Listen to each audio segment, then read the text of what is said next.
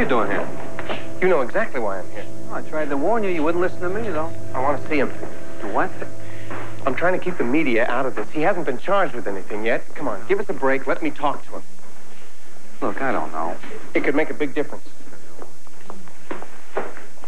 All right. Look, this is not procedure, okay? But the DA's been called to court to testify, so you make it quick or it's my tail. You understand? Yes, thank you. Okay. It's all right. Let him in.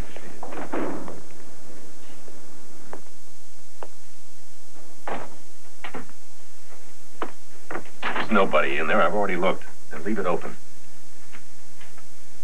Now listen, Brent. They are not letting up. And I mean things are coming apart at the seams here. It's totally out of control. Slow down, slow down.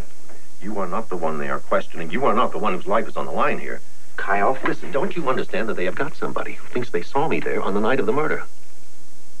They didn't see me, Brent. They saw you. would you be They quiet? saw you in my sweater. What do you expect me to do? Sit here and take the rap? Kyle, you didn't do it. They can't prove anything. Everything they have is circumstantial at They best. don't believe me. Oh. You have got to go to them. And you have got to tell them the truth. You're panicking. Do you realize that? If you don't tell them, I will. I'm not going through this alone, Brent. I didn't do anything. Well, that's not exactly true, is it?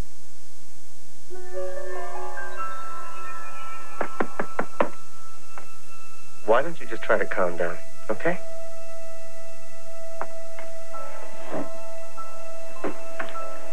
They're putting the pressure on you because they don't have a case. They're trying to crack you. But they don't realize how far superior you are to them. All you have to do is hold the line and we're home free. The worst is already over. Everything is going just as it should. Trust me. I'll take care of everything.